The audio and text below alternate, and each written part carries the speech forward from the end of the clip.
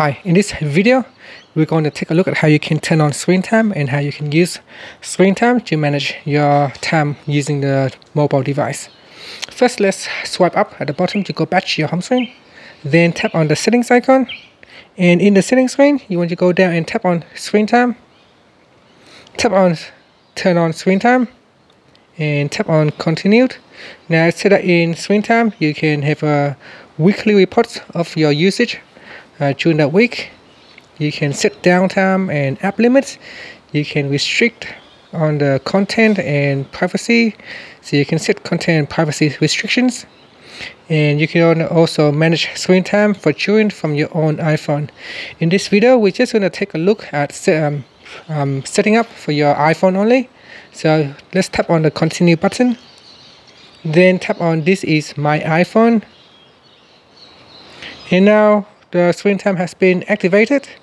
At the top section here is a graph showing you how much time you spent on your device for the last seven um, seven days.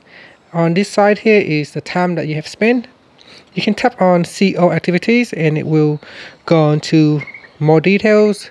In this page here it has some more breakdowns. You can tap on week or day.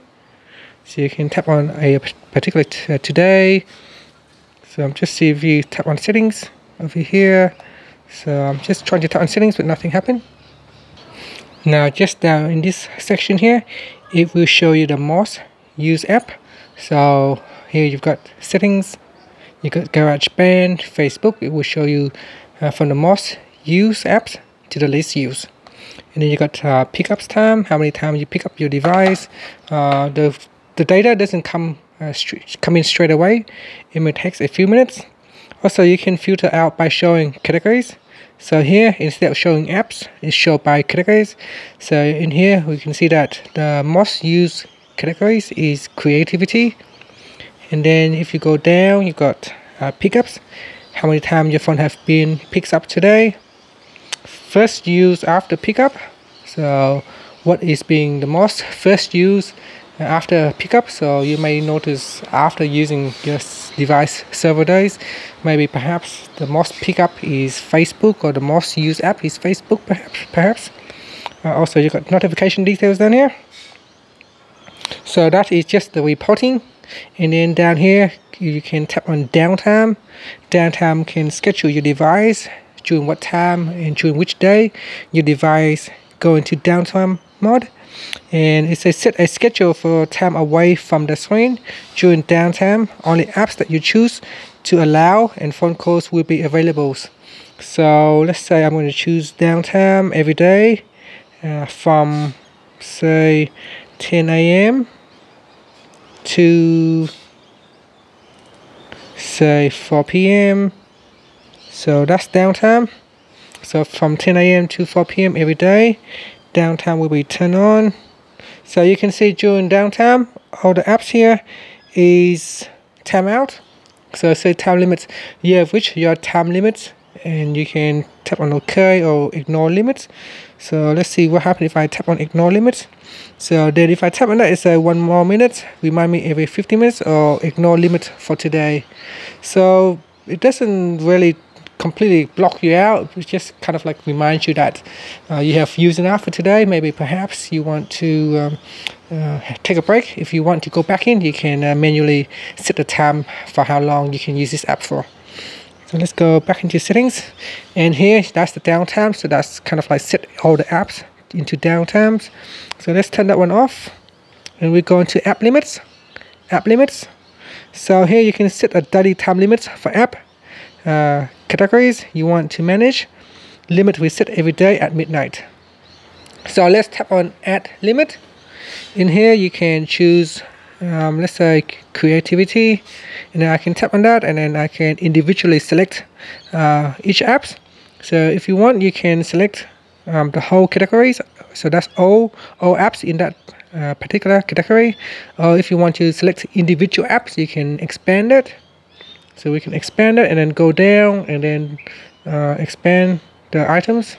So I thought you can uh, deselect but you can't in here. It looks like you have to select all. So let me see if I want to um, go individual I have to first deselect that. So you have to first deselect that. If you select that if you go down you can actually deselect them.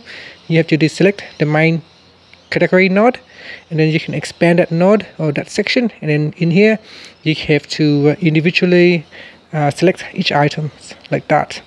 And so let's say all these items has been selected and only GarageBand is not selected.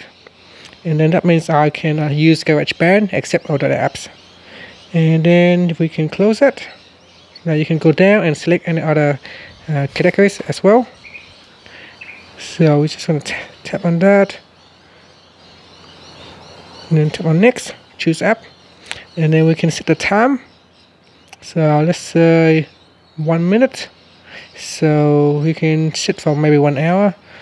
And then tap on add. So each day you only allowed to use those apps for one hour. Then tap on app.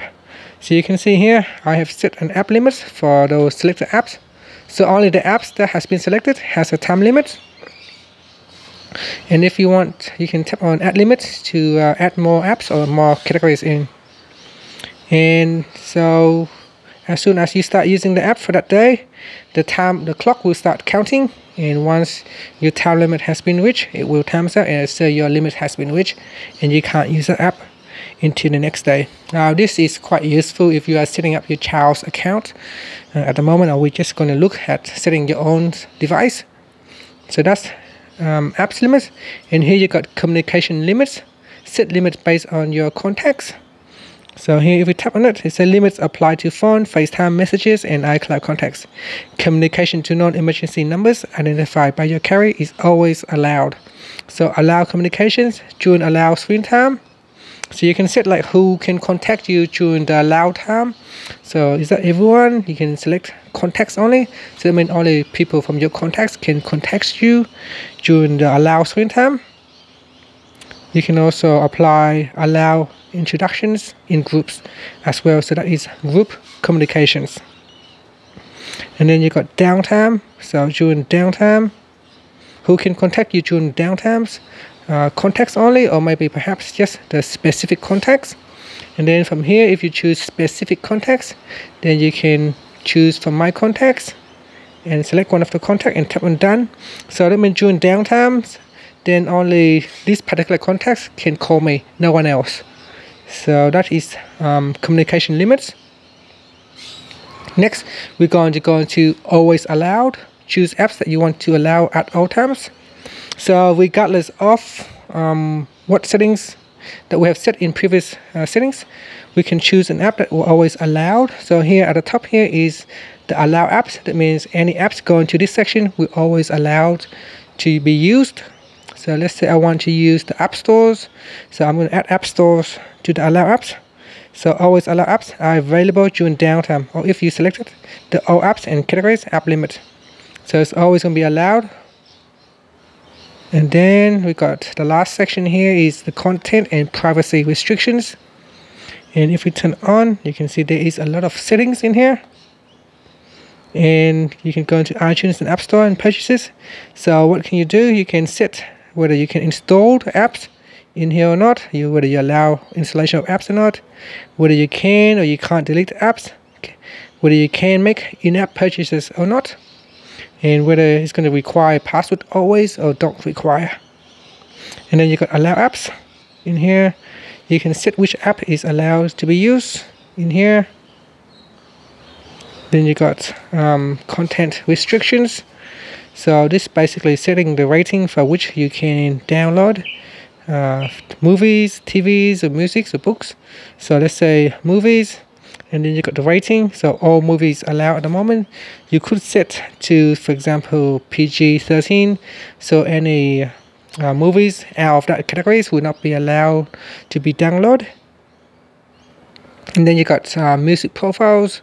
Here you got music profiles on and off. So there's a lot of settings that you can go into this um, content restrictions.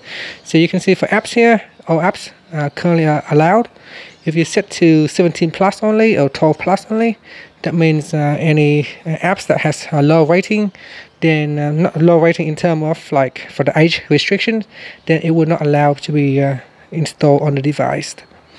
And you got web content. At the moment, it's set to unrestricted. so limit to adult website or allow websites only so you can set the restriction here so I'll tap on allow website only and then only allow this website. So any website that you want to allow you have to uh, manually add in. For example google.com or youtube.com if you want to allow youtube you want to manually add them in here as well. So there is quite a lot uh, of um, content restriction you, that you can set as you can see here. So you have to go in here and check and see what you want to set for content restrictions. You got Siri here. Web search content. Allow or don't allow web search content explicit language whether to allow you to use explicit language or not. And then game center multiplayer games you can use allowed multiplayer games or not. You got adding friends and then you got screen recording whether you can use screen recording or not. So that is content restriction under screen time. And then you got privacy location services and then you got allow changes or don't allowed. And then you got a bunch of other things that you can go in here. So those are all the changes that you can allow or denied uh, settings. And that's it. So that is the screen time. And then further down you got use screen time passcode. So do we want to set a passcode for the screen time and then you need to put in the Apple ID if you wanted to otherwise you can just cancel. So it says screen time passcode recovery. If you forgot the screen time passcode you can use the Apple ID to reset it. So um, if you want you can put in your Apple ID so that later you can recover your screen time passcode. I'm just going to cancel for now. And say are you sure? Yes I'm just going to skip and that is the screen time passcode. And you've got share across devices. You can enable this on any device signed to iCloud to report your combined screen time. If you don't want to combine your screen time you can just uh, switch it off. In here I'm trying to make the changes so it's asking for my uh, passcode. And then here you got set up screen time for family so you can also set up the screen time for family as well. So that means any other devices that you want to set up you can uh, uh, you will have the chance to set up right now. So you can see here we can add in the child account or create a new child account uh, if you uh, wanted to. And that's it. And the last option is that if you no longer want to use uh, screen time we can turn off uh, tap on turns off screen time and that's it. It's now being turned off and you can turn it on again. And that's it. That is uh, screen time on your iphone 11 running ios 13 thank you for watching this video. Please subscribe to my channel for more videos